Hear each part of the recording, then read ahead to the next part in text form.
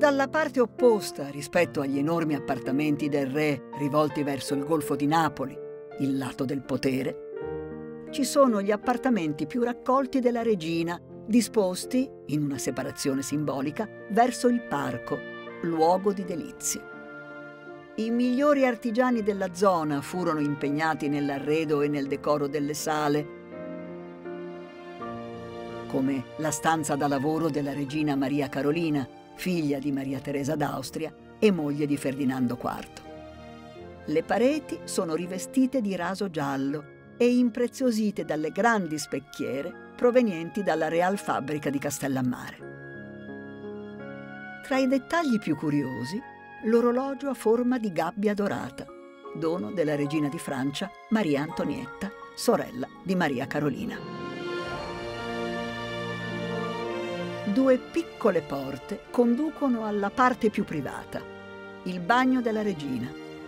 Uno scrigno di sorprese decisamente all'avanguardia per il tempo. La vasca da bagno in marmo di Carrara, foderata di rame dorato, con i rubinetti per l'acqua calda e fredda. Il bidet e la toilette. I putti hanno gli occhi bendati, in segno di riguardo per Sua Maestà ma è l'acqua corrente la novità più grande della reggia.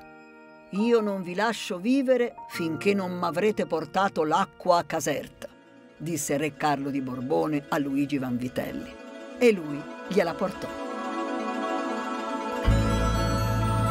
L'acquedotto Carolino, grandiosa impresa di ingegneria idraulica perfettamente inserita nel suo ambiente naturale, fu costruito sul modello degli antichi acquedotti romani a dimostrare, ancora una volta, la potenza dei Borbone, scopritori di Ercolano e Pompei e desiderosi di porsi a confronto con le imprese più grandi degli antichi. In gran parte interrato, l'acquedotto lascia scoperti alla vista gli straordinari ponti della valle, un'imponente struttura in tufo alta 95 metri, che ai tempi fu il ponte più lungo d'Europa capace di resistere nei secoli a tre terremoti.